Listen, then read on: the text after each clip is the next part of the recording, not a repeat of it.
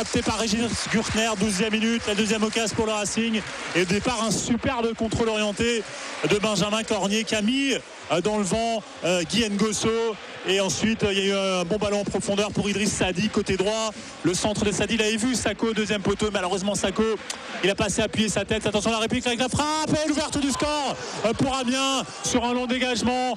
Kakuta qui ouvre le score, une remise en retrait de la part de Konaté et Kakuta d'une belle frappe hein, des 20 mètres au ras du poteau 1 0 pour Amiens alors que le Racing avait eu les deux meilleures occasions.